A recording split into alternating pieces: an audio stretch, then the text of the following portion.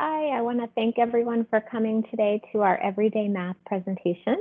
My name is Michelle Bowditch. I am the Early Childhood Teacher Specialist at Halls Crossroads Elementary.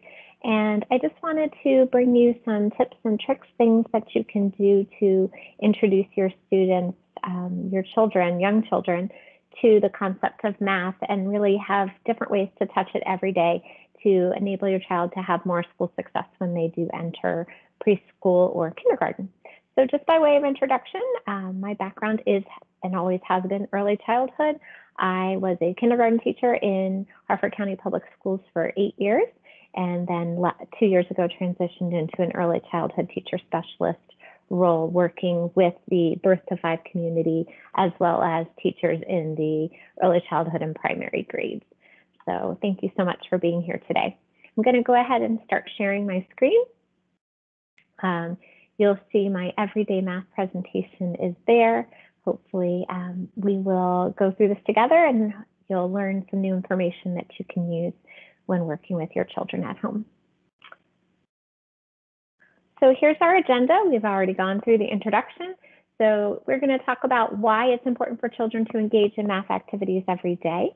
We'll talk about what is the play-based benefit, hands-on, what is play-based hands-on learning and what is the benefit for your child and what can you do to engage your child in math activities at home. So let's jump right into it. Why is math important? Uh, the studies show that a child's math skills at kindergarten entry are a better predictor of future academic success than reading skills, social skills, or the ability to focus. That's a big statement. And we can give our children a head start by helping them get comfortable with math concepts like measuring and counting at home. So we'll go over several of those suggestions today and different activities that you can use. So I'm going to give you a minute to go ahead and read this little quote. It's about children learning through play.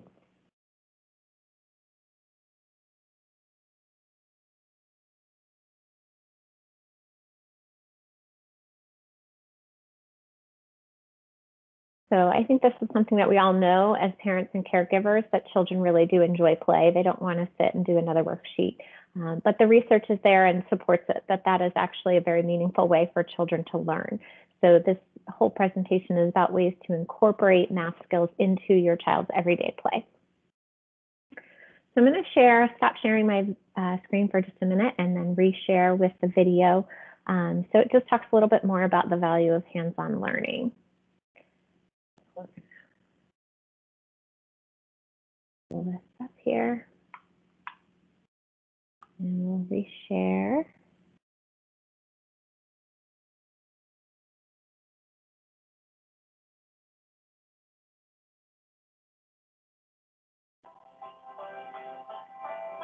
You know, when I was a kid, my dad um, drove a, a $500 bread truck into our driveway. And I thought we were going to the bread business. And he said, no, this is our camper. I said, I can read bread and rolls on the side of the truck. And over that summer, we built bunk beds, put down, we made a sofa, on the propane tank to a coal stove. We rewired the entire truck. Over this time, I learned how to be an engineer. Now in middle school. So experiential learning. It wasn't until we painted the side of the truck that I realized we're going to Myrtle Beach, South Carolina on vacation in this recreational vehicle. So experiential learning, whether it comes from home, school, wherever you get it, Boys and Girls Club, but we have to give kids meaningful things to do with their hands and give them problems that can help, you know, solve problems in their community or in the world, and not just do make work stuff. And I think when we when we let them build and create, and, and it and it's meaningful and it helps them solve a problem, that gets them thinking about how they can be change makers themselves and how they can be scientists and engineers because that's what they're doing and they're thinking creatively and they're solving problems. And that's what we do as, as engineers and scientists. So get them get them early building and creating uh, things that are meaningful. Like I built a bread truck that you know, saved the day for us. And we'd have to spend twenty four thousand dollars on a Winnebago when we have a five hundred dollar bread truck that serves the same purpose, getting the family in the cheapest way possible to a destination so that the family can explore the intellectual side of learning and the physical side of learning, how are they connected and what is that interplay? And I think Lego has done a really great job of teaching play with bigger Duplo blocks or the bigger blocks where they're trying to move them from one side of the body to the other side. Because if you split the brain as you're going across the brain, you are now making this physical space connection with both sides of your brain. And and their their play is intentional to have kids do that at a very early age. And so understanding how my body works, how I turn and twist and jump when I'm catching a pass, has the same effect as me working hand controllers on the International Space Station, moving the, $2 billion Columbus laboratory out of the payload of the shuttle and attaching it to the space station.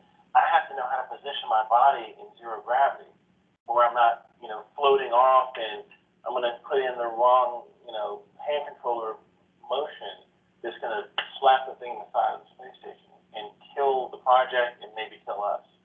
So body, mind, spatial reasoning, body spatial reasoning are all connected to solving problems. And you know, you have these foot straps you put your feet in to keep you from, you know, translating around, but still you have to react off the hand controllers just like you do off the off the foot straps. And I think, you know, understanding your body in space as well as on the ground helps you do these technical things that are that are challenging with your body. All right. So I think Mr. Melvin does a much better job describing um, the connection between um, hands-on learning and the brain than I would do. So I wanted you to hear it straight from him. Um, so we'll move on to our next slide here. So the power of hands-on learning, we all know that when we are um, listening to something and someone's telling us how to do something, that's great.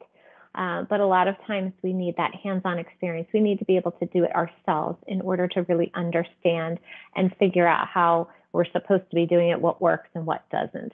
And the research has proven that students that are taught using hands-on teaching methods, methods with manipulatives outperform those who do not. So it is true for many subjects that most documented, but most documented in mathematics, um, and that mathematics, that early acquisition of skills in mathematics is really an important predictor of later achievement, not just in math, but in all the other subjects as well. So we want to give our students the best possible chance they can have starting out. And that's why we want to use hands-on activities. So everything we'll talk about today kind of falls within that vein. So let's switch gears a little bit and talk about the five math content standards. Uh, really all students are focused on learning five different strands or different content sections of math. So you have numbers and operations, algebra, geometry, measurement, data analysis, and probability. And we'll talk about some skills in all of those areas today that you can do. It sounds kind of strange to think about talking about algebra with a preschooler, but you'll see how those skills, the really foundational building blocks of algebra and those kinds of skills really do build in the early years. Numbers and operations, this is our biggest section, it's the biggest chunk. There's lots to do, and that's really where we start with kids. So we have lots of different activities. I'll go through them quickly, um, but they're up there for you. You can always take a picture of it um, and have it, save it for later. But you can form numbers. You can use really anything. You can do numbers with your body, Play-Doh, Wikki Stix, anything, spaghetti. You can use just about anything to make numbers. So make it fun for the kiddos. You can write numbers in the sand. You can use shaving cream, finger paint. Some people use pudding, put it on their high school or their little um, high chair tray. So that's always fun around the table as long as it's a wipeable table. Um, you can make gel bags, put a little bit of food coloring and some clear aloe vera gel in a Ziploc bag, secure it with some packing tape or something that they cannot open, um, and then let the students really write on the outside of the gel bag, write the number, and then they can um, smear it together and then write the next number. It's a really tactile way, um, exciting way for kids to write their numbers that's not paper pencil. You can do feeling numbers where you have children glue a certain number of objects onto a large number. You can do body writing where you would have them write a number on your back, or you can take turns. You write a number on their back and they try to guess what number you're writing, um, and vice versa.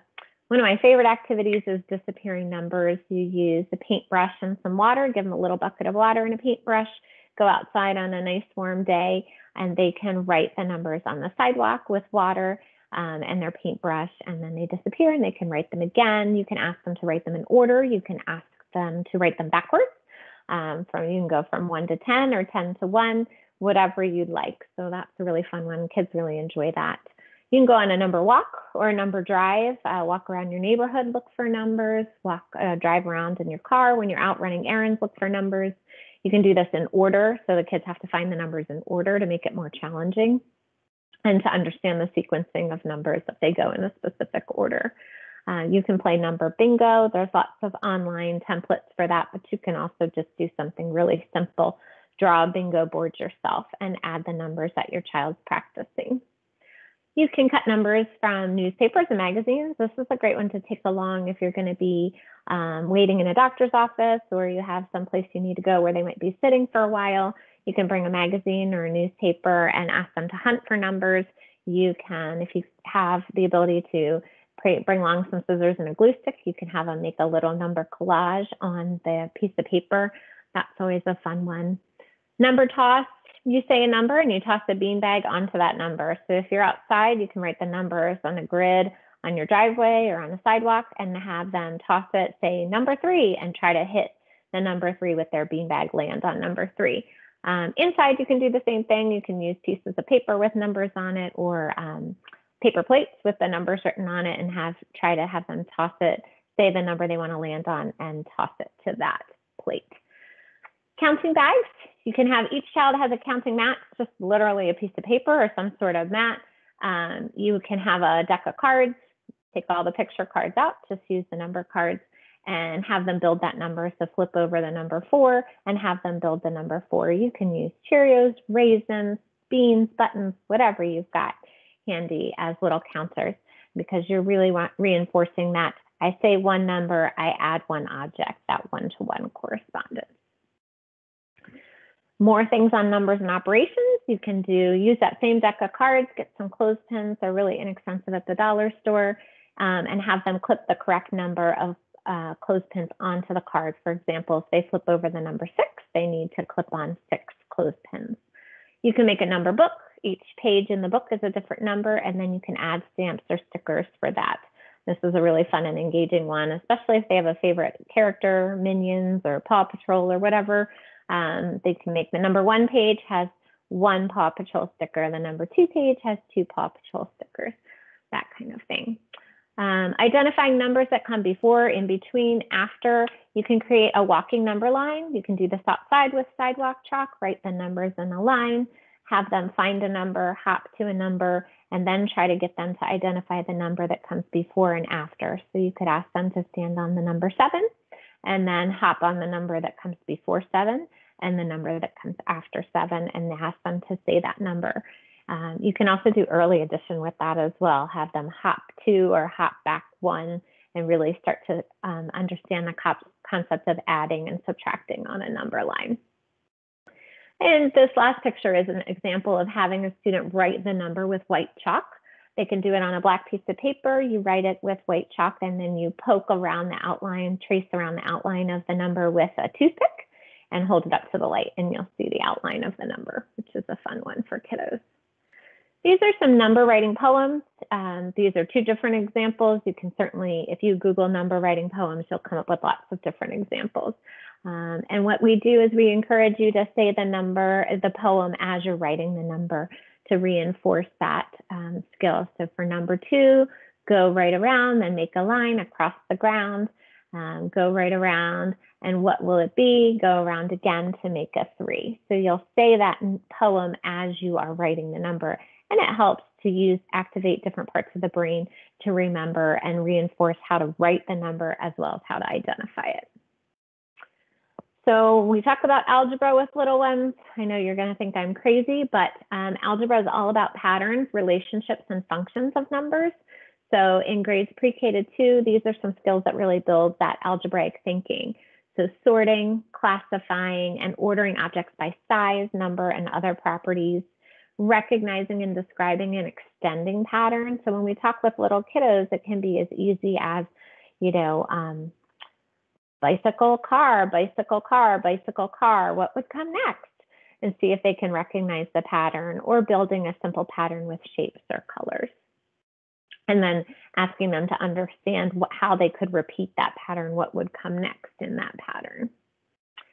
And again, when we talk about sorting and classifying, we can sort objects in many, many different ways.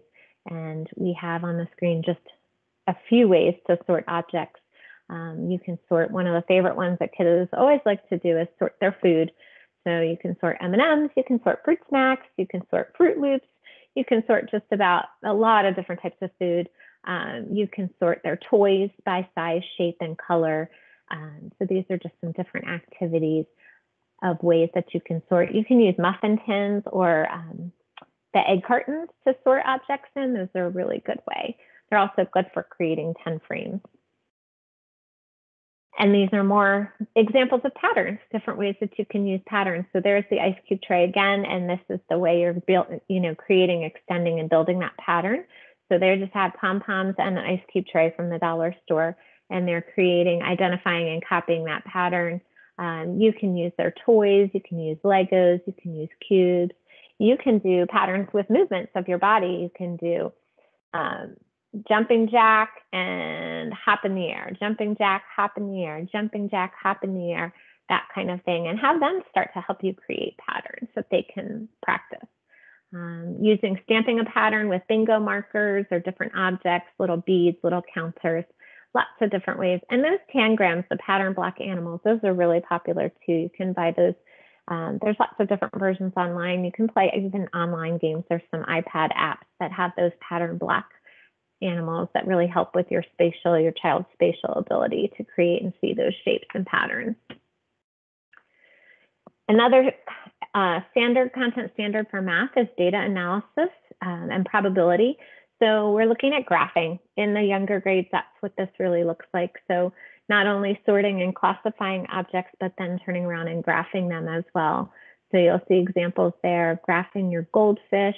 Uh, there's an example of the students are graphing their Halloween candy. They've sorted them and then they're going to compare them, graph them and compare them. And you want to talk about which has more, which has less. Um, and then lastly, the last little picture is of uh, toys. They graph their land, sky, and water toys. And you can do uh, really sorting with everything shoes, types of clothing, um, hair color, eye color, different things, color foods. So you can graph your apples.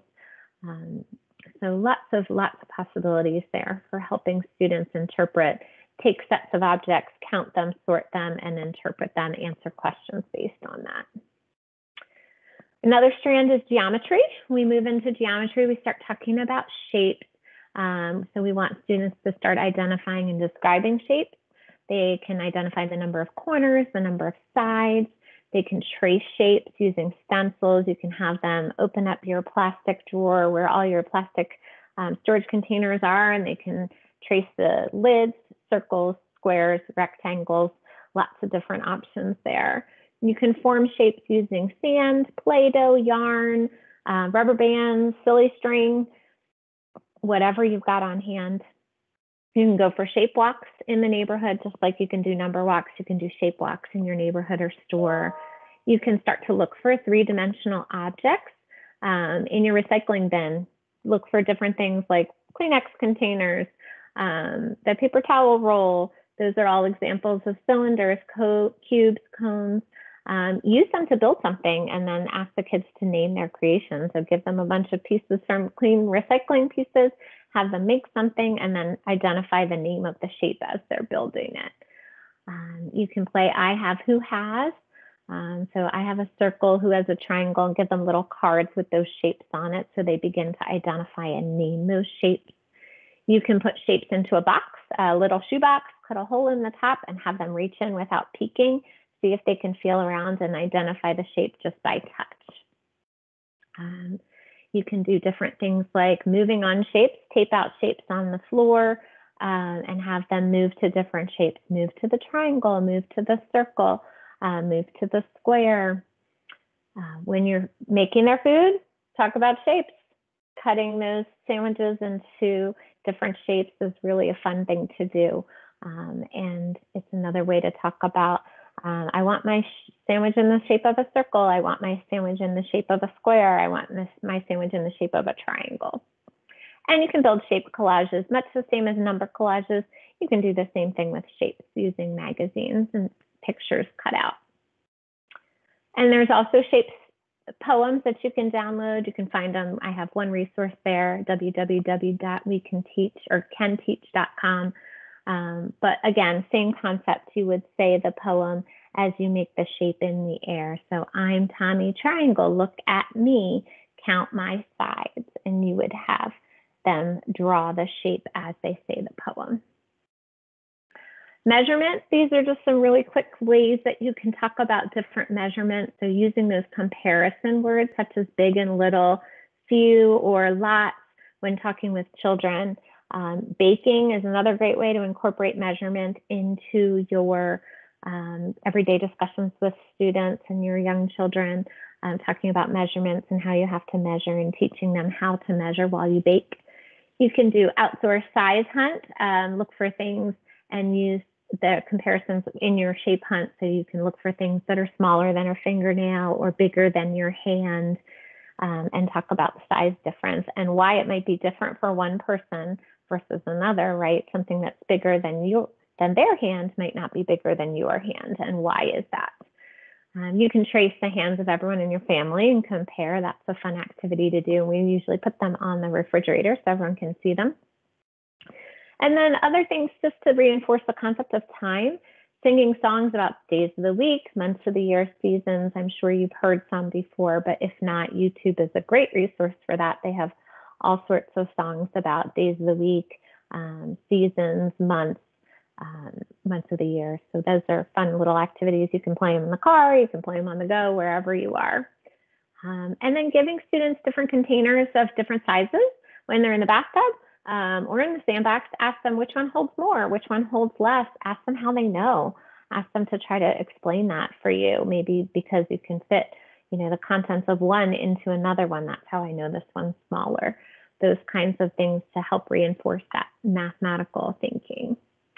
And then literature. We always like to bring in the books. So these are different some different examples of how you can make those connections when you're reading um, one fish, two fish, red fish, blue fish for sorting, talking about putting um, objects into different categories, counting, if you give a mouse a cookie, talking about how you can use objects for manipulatives like um, animal crackers or cookies. Very Hungry Caterpillar talks a lot about time. It talks about the days of the week um, as the caterpillar goes through his day and how many objects he eats on each day. Um, addition and subtraction this presentation mentions the M&M's counting book. There's also a Cheerios counting book. Um, and the Cheerios one has little spaces for you to put the Cheerios in. So it asks you to make a set of four or a set of five, and they have to put those, place the Cheerios on that page as they go. Um, and there's eating fractions, another um, similar to, you know, cutting your sandwich into pieces or pieces of pizza, talk about the whole pizza and how many pieces it has altogether, and then talk about what if you only had half, what if you only had a quarter, that kind of thing. So before we I let you go, we just want to let you know that we do have a lot of these resources on our HCPS Early Childhood Education website. Um, so if you go to the Harford County Public Schools website and then you click on early childhood education, you'll find links to family and community support, mental and physical health, and also the rest of the education resources that we have available to you. So I hope you've enjoyed this presentation and thank you so much for tuning in. We appreciate your support. You are your child's first teacher, so we are excited to help support you in any way we can. Thank you.